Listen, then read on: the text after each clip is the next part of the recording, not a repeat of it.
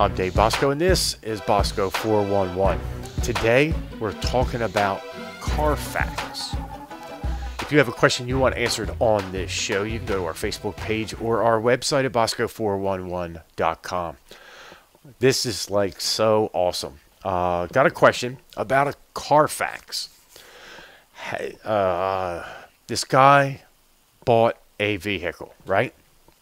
Clean Carfax. bought it from this guy and not from a dealership, bought it from random person. We know what Craigslist is, right? Watch it. Okay? So there was a Carfax. This guy uh, had a Carfax on the car and everything looked good. Now you have to remember, there's other things that are like Carfax out there. Okay, it's not just Carfax. I'm using Carfax because it's just everybody knows what Carfax is. So sorry, Carfax, you're kind of just stuck here. Carfax collects their information through different motor vehicle databases if they can access those. Okay, insurance companies.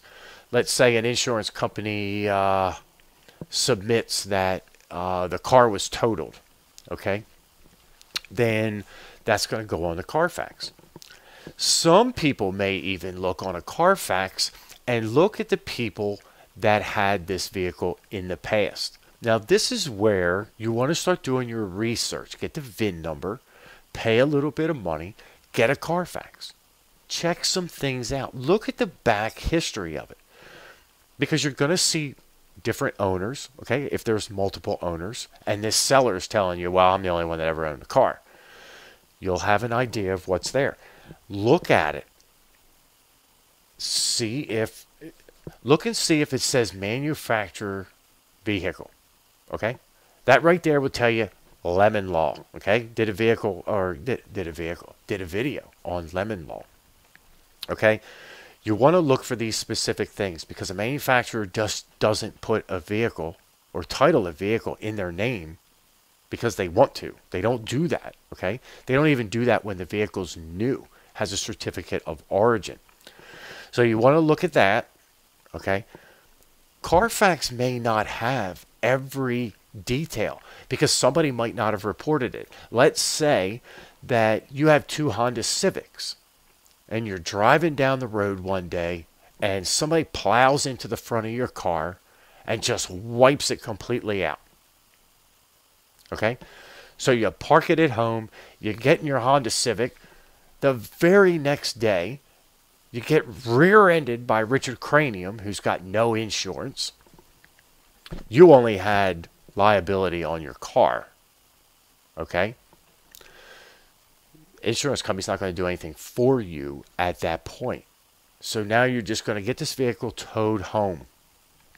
You still have the title. Your insurance company, somebody else's insurance company, okay, this Jacko didn't have insurance. So the car is still in your possession. You're pretty much out of luck when you don't have full coverage when something like this happens. So you take the front end off the one car Okay, you have two totaled vehicles. You take the front end off of one car and put it on the other car. Maybe you got to do some cutting, some welding, this and that. Now, you have two total cars. You still have the original titles to them.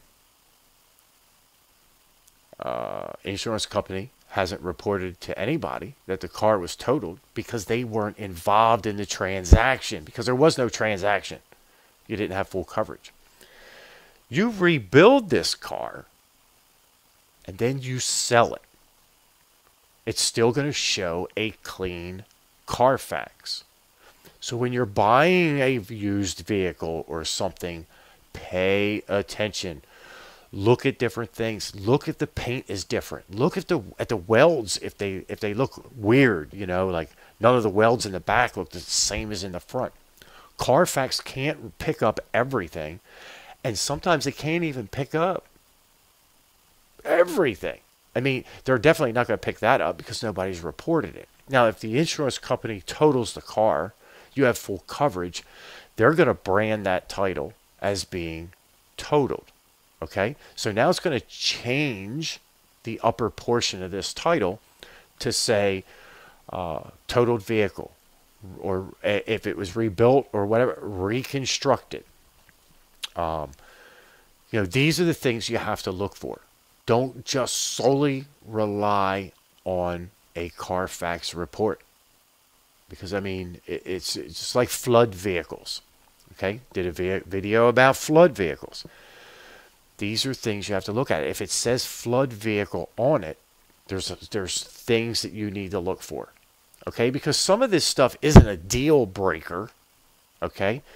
If you have a reconstructed title, uh, it could have been reconstructed back the correct way. There might not be anything wrong with that car.